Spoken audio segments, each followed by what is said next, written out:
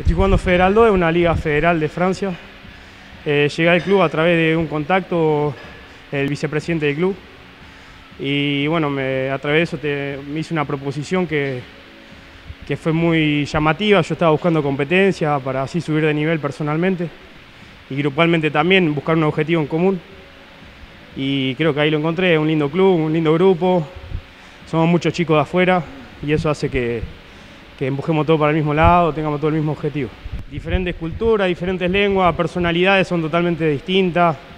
Eh, sí, mucha, em, cruzamos con muchos intercambios culturales que eso te abre mucho la cabeza, está bueno.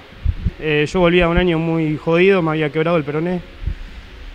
Vuelto a eso, cambio de club y al mes y medio de entrenamiento me cortó el ligamento del tobillo, entonces como que fue un año bastante jodido, sumado a la pandemia y que no jugamos en ocho meses.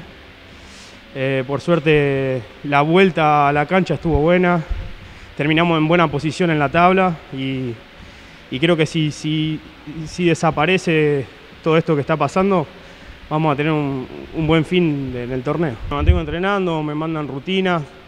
Eh, como allá sería la mitad de temporada, yo no, no puedo, no nos permiten dejar de entrenar entonces tendría que volver ya en forma, no puedo, no puedo dejarme, pero bueno, disfrutando siempre.